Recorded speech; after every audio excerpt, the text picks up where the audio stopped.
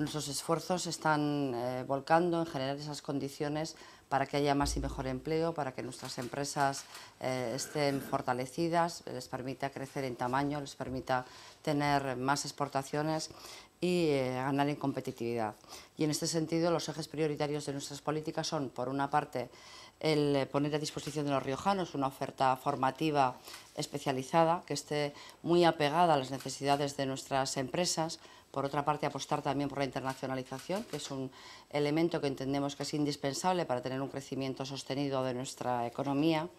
por favorecer igualmente la competitividad de nuestras empresas y en ese sentido favorecer la excelencia en su gestión y por colaborar también eh, con socios estratégicos como puede ser la Federación de Empresarios, la Cámara de Comercio, el Club de Marketing y nuestros propios clúster. Todos ellos nos ayudan, por una parte, a mejorar nuestras políticas económicas y también esas políticas económicas actúan como intermediarios para acercarla a todo el tejido empresarial. Pues este es el marco y el desafío que hemos abordado con los acuerdos que hemos adoptado hoy, que se los enumero.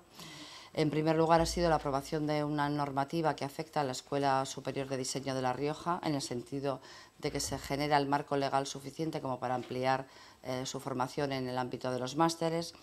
Por otra parte, el convenio de colaboración entre el Gobierno y la agrupación empresarial eh, innovadora sobre automoción para impulsar la competitividad de este sector, una nueva convocatoria de becas de internacionalización, el convenio también con ADER y con Club de Marketing para impulsar la excelencia empresarial, otro convenio con la Federación y, y la Cámara de Comercio para impulsar el emprendimiento y, por último, un convenio ya en exclusiva con la Federación de Empresarios para implementar acciones de innovación y de tecnología. Todos estos acuerdos suman un importe aproximado de 1.364.000 euros, que es el compromiso de hoy de este Gobierno con nuestras empresas. El objetivo es ofrecer el mejor entorno, la más apropiada respuesta social pública para proteger a los menores en La Rioja. Ese sería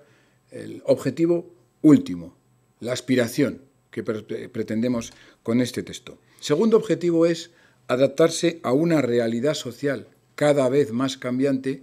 y en el que eh, las franjas más vulnerables, las personas más vulnerables, como puedan ser los menores, pues necesitan de una especial protección.